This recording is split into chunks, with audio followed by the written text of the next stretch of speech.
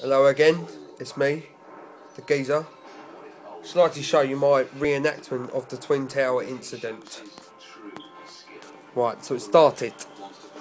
I'm sorry to all you Americans that your things look like massive knobs, but that's what all you are, aren't you?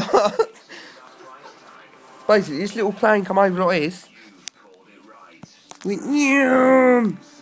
knocked that dildo over. The other one come, look at that, it's a bit limpy as well. I went, fuck the other limp dick. And fuck, didn't you? I'm a geezer.